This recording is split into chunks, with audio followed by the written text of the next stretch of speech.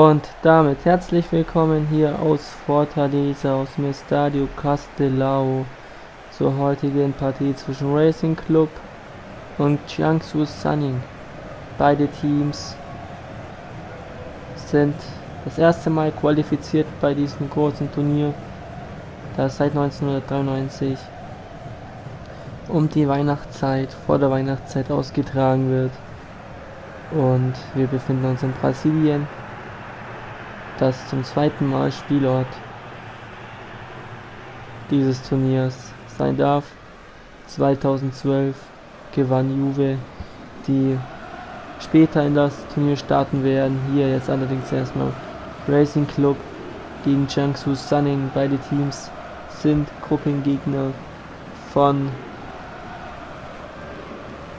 Liverpool und Atletico Madrid und beide Teams wollen die Großen ärgern. Liverpool hat gestern vorgelegt, mit 2 zu 1 gewann man diese Partie in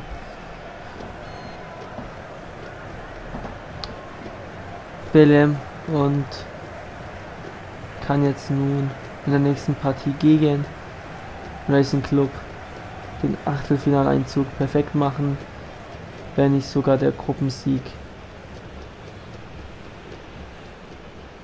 Dazu muss allerdings erstmal auf diese Partie geschaut werden, bevor wir unsere Prognose abgeben hier in Fortaleza, das zum ersten Mal Spielort ist und wir springen zur ersten Möglichkeit.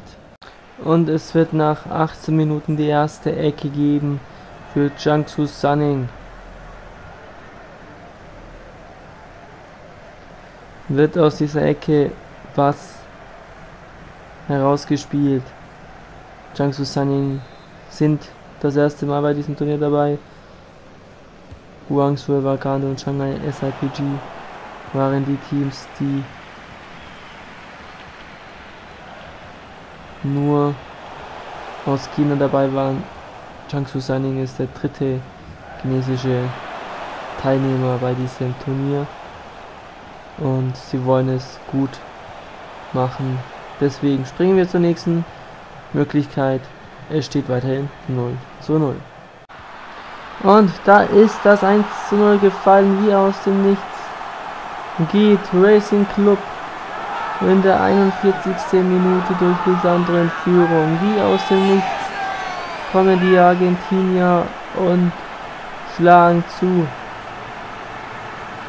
Wir gucken es uns in der Wiederholung nochmal an. Keine Chance, da wird einfach Lisandro allein gelassen und dann ist natürlich der Keeper ohne Chance. Steht 1 zu 0 für Racing Club. Und das tut besonders gut, wenn man denkt, dass es gleich Halbzeit ist.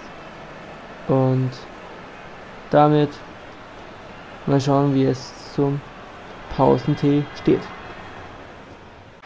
Und zur Pause steht es 1 zu 0 für Racing Club. Wie aus dem Nichts sind sie in Führung gegangen durch Lisandro Lopez.